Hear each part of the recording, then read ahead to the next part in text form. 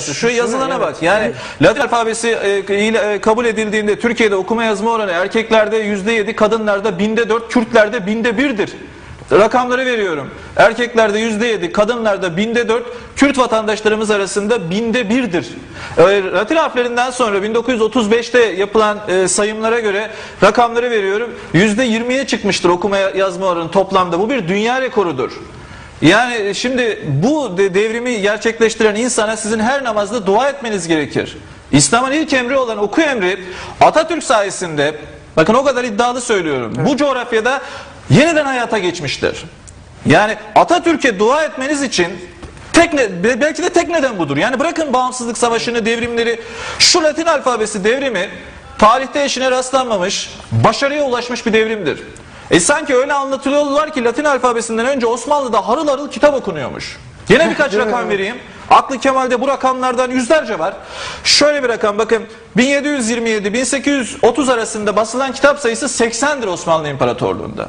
Sadece 80 kitap. İbrahim Müteferrika battığı Hepsi bu için kadar. kapandı. Basma. 1727, 1830, 100 yıldan fazla bir sürede basılan kitap sayısı 80'dir. Din konusunda basılan kitap sayısı bir o kadardır.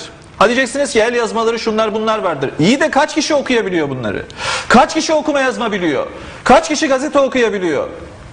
E şimdi zannedersiniz ki Cumhuriyet geldi hani diyorlar ya biz, biz bir gecede cahil kaldık. Latin alfa. E siz zaten cahildiniz diyorum ben.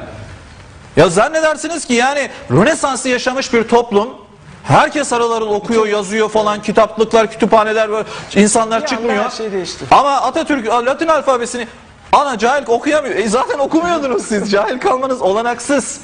Ve size şunu söyleyeyim. Cumhuriyetin en güzel yanlarından biri budur.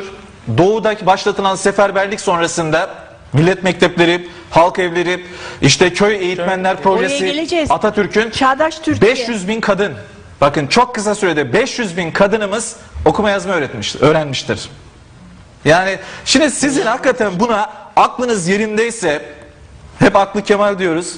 Aklı selimle düşündüğünüzde yani bunu gerçekleştiren adama her namazda dua etmeniz gerekir.